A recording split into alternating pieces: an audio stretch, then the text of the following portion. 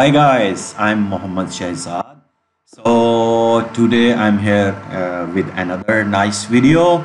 It's a continuous series for the previous two videos regarding the free NAS. Today uh, we will go to add RDM disk into our virtual machines or you can use these uh, as you know uh, in my previous video we learned how to add iSCSI basic setups and iSCSI drives and LUNs and how we create a pool in FreeNAS. If the if somebody didn't saw that video, I will recommend to go back and see the previous two videos related to this series so you can get a get a better uh, background. Before that, the first video was how to install FreeNAS and second was the iSCSI setup on the FreeNAS we did here all the setups for the FreeNAS like our uh, storage pools we configured and then uh, we made some uh, iSCSI block shares so here we made it. So targets and all we set it in my previous video. If somebody missed it just go back and watch that.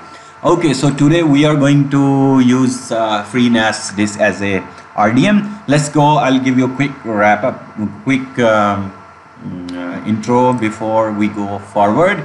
So uh, as you know in our previous video we saw that how we added the targets and um, paths in our uh, data stores like uh, in our ESXi server sorry. So like we went to our storage adapters and we added here a target of our uh, FreeNAS if I bring back down this one also a little? Okay so this is the FreeNAS uh, target.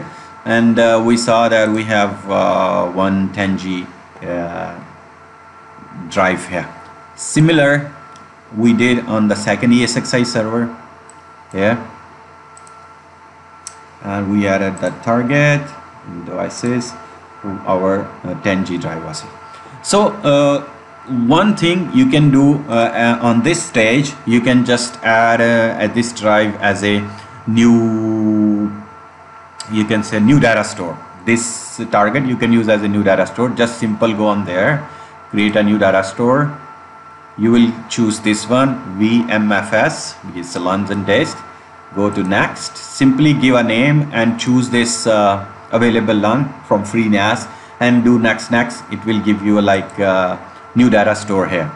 But here we are going to use these direct to our two uh, virtual machines which is running 2012 server. And our cluster series also going on on the on my other uh, video series. So we'll use later on these two then. So let's go and uh, try to add um, RDM disks into these two virtual machines. So first you have to go on this first node added settings. And then first of all when you are going to use you know uh, your uh, FreeNAS and the um, SAN storages you must add a new iSCSI controller. Because this iSCSI controller 0 is running our uh, other dri other drives which is not physical on the coming from outside. So what we will do we'll do first to add iSCSI controller. I'll do add and I will change its uh, bus sharing to physical. Right? That's it. And then you can choose type no share other things but leave as it is. Like just this is the important. Okay. Completed. So secondly I will go now add the RDM disk. I'll go here. Select RDM disk add. I will choose this 10 GB capacity disk coming from FreeNAS. Okay.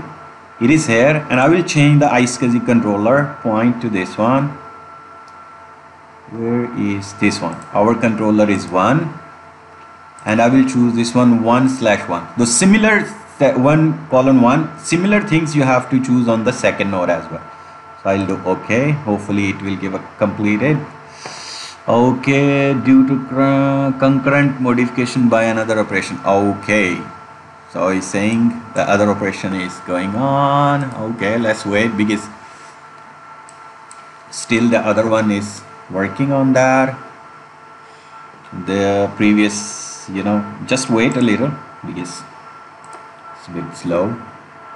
Let's see our other is fully and okay. I will do just okay. And I will try again add a RDM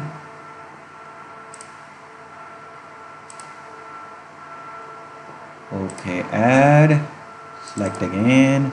Okay. In the drive I'll choose my SCSI controller. This one one and one. Okay okay completed because we uh, just give a little time to add a controller after that and wait for some seconds or so then you try to add that disk. Okay that's great. So we will go here and we will add the settings we have to check the VMDK drive name.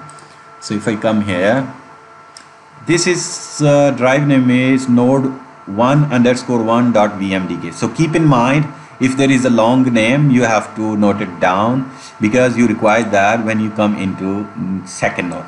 So when we come into second node edit settings I will do the same two steps. First I will add controller.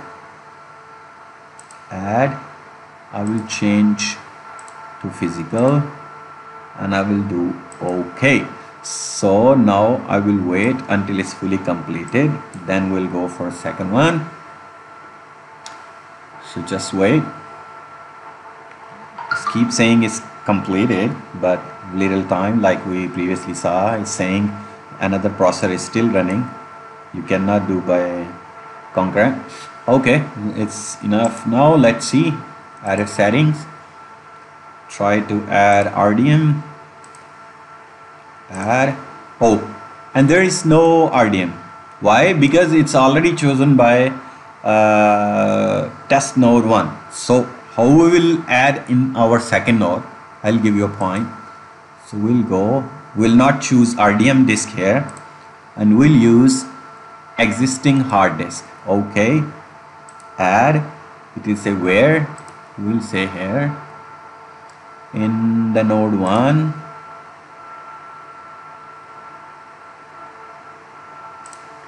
okay.